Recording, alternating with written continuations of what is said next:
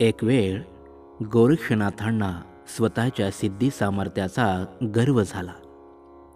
आणि आपल्या प्रिय भक्ताच्या मनामध्ये सिद्धीविषयी अभिमान झाला आहे आणि त्याने त्याचे पतन होईल म्हणून अहंकारापासून रक्षण करण्यासाठी स्वत श्री दत्त गोरक्षनाथाबरोबर एक लीला करतात. त्यासाठी गोरक्षनाथांची भेट घडावी आणि त्यांचे प्रबोधन करून त्यांना अहंकारविरहित सिद्ध बनवावे असे दत्तांना वाटले. गोरक्षनाथांच्याही मनात दत्तापेक्षा आपण श्रेष्ठ आहोत. त्यांची भेट घेऊन स्वबळ प्रदर्शन करून त्यांच्यावर विजय मिळवावा ही अहंकारी लालसा कुठे ना कुठे मनामध्ये घर करून होतीच. आणि ती श्री दत्तात्रेयांनी जाणली होती. म्हणूनच हा प्रसंग घडविला असावा. गोरक्षनाथ दत्तात्रेयांच्या शोधार्थ एका गुहेत शिरले. तिथे त्यांना जठाधारी उन्मत पिसाचवत व्यक्ती बसलेली दिसली.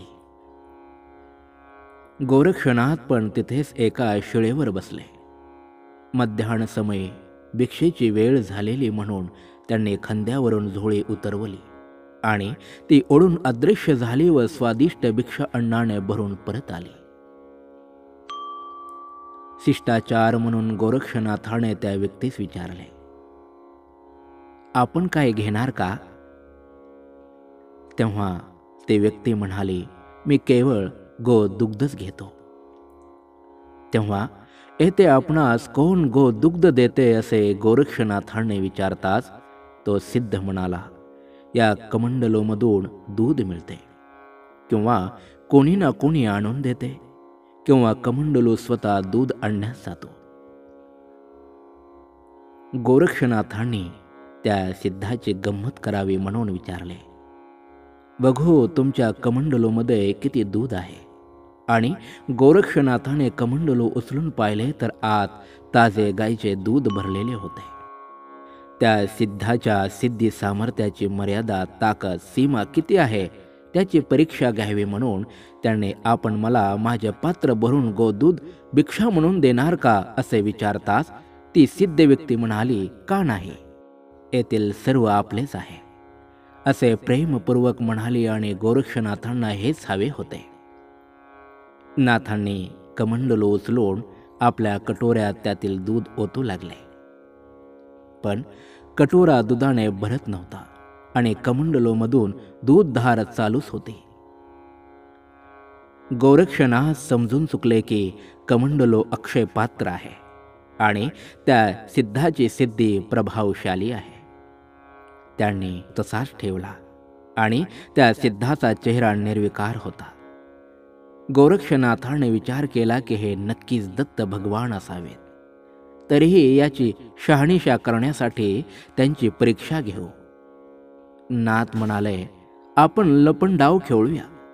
बघू कोण हरते आणि कोण जिंकते ते. वारंवार गोरक्षनाथाने आग्रह धरल्याने त्या सिद्धाने मैदानात उतरण्याचा निश्चय केला. आता प्रथम कोणी लपायचे यावर असे ठरले की गोरक्षनाथांनीच प्रथम लपावे आणि हेच गोरक्षनाथांना हवे होते.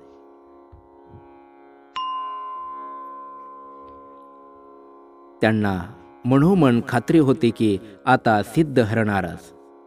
त्यांनी तीन टाळ्या वाजवल्याबरोबर ते अदृश्य झाले.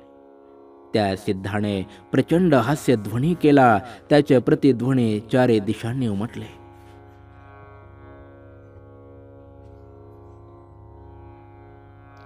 थोडा वेळ मौन धरून त्यांनी तो कमंडल उचलला आणि त्या खालील थोडी माती काढून त्यातून एक लहानसा बेडूक काढला आणि त्याला आपल्या तळहातावर ठेवून ते हसू लागले. गोरक्षनाथ लाजले. त्यांनी बेडकाचे रूप टाकून मूळ रूप धारण करून पराभव स्वीकारला. आता त्या सिद्धाची पाळी होती. तो हे तीन टाळ्यांच्या आवाजाबरोबर आकाशात उड्डाण करून दिसेनासा झाला. गोरक्षनाथाने राजहंसाचे रूप घेऊन त्याचा पाठलाग केला. पण सगळे आकाश पालते घालवणे सिद्ध गवसला नाही. श्वासाद्वारे सर्व हवा गाळून सोडली. तरी पत्ता लागेना. शेवटी थकून भागून ते परत भूमीवर आले आणि पराभव मान्य केला. पाहिले समोर तर तो सिद्ध समोरच उभा होता. पण गोरक्षनाथांना वाटले की परत एक संधी मिळावी म्हणून त्यांनी परत सिद्धास फार आग्रह केला. आणि त्या आग्रहाचा मान राखण्यासाठी तो परत अदृश्य झाला.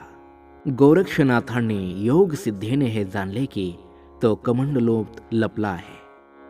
त्यांनी माशाचे रूप घेऊन कमंडलोतील सर्व पाणी गाळून काढले. परंतु काहीच उपयोग झाला नाही. मोठ्या निराशाने दुःखाने ते बाहेर येऊन मूळ रूप घेऊन बसले. त्यांनी पराभव मान्य केला आणि पाहता तो काय तो सिद्ध. त्यांच्या आसनावर शांत मुद्रेने पूर्वीसारखा धीरंग भीर जणू काही झालेच नाही असा बसलेला आहे. गोरक्षनाथांनी त्यांना विचारले आपण कोणत्या सिद्ध बळावर कोठे लपला होतात? सिद्धाने शांतपणे उत्तर दिले ज्ञानामृत समरस. गगनीप मोहम. म्हणजे मी आकाशात आकाश आणि पाण्यात पाणी झालो होतो. गोरक्षनाथाने जाणले की हे समरस सिद्धी आहे आणि हे सिद्ध पुरुष दुसरे कोणी नसून श्री दत्तात्रेय आहेत. त्यांनी त्यांना श्रद्धापूर्वक प्रणाम केला.